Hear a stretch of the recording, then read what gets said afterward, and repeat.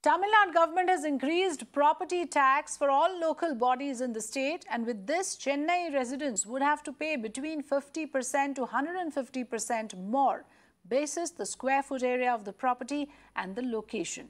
Commercial buildings and industries in core Chennai areas will see 150% increase in tax while education institutions will see a 100% rise.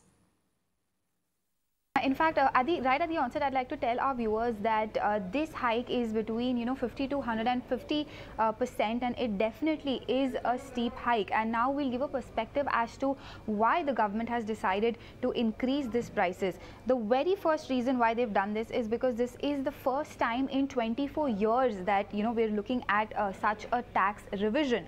The second one being that uh, the urban local body expenditure has gone up and also given the fact that in the last 20 24 years, you know, there has not been a single revision in tax. So that directly impacts the, uh, you know, the, the revenue streams of uh, the government. Then, of course, the municipal finances as a result are under strain.